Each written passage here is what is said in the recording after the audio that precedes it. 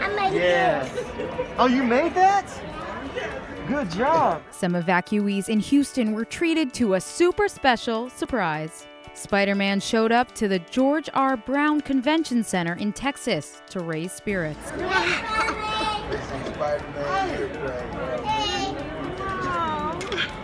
The superhero was a welcome surprise to the thousands of people at the shelter whose lives were forever changed by Hurricane Harvey and the devastation it brought. The superhero was ready to hand out fist bumps and stickers to everyone, young and old. It's true what they say with great power comes great responsibility, and this Spider Man was more than ready.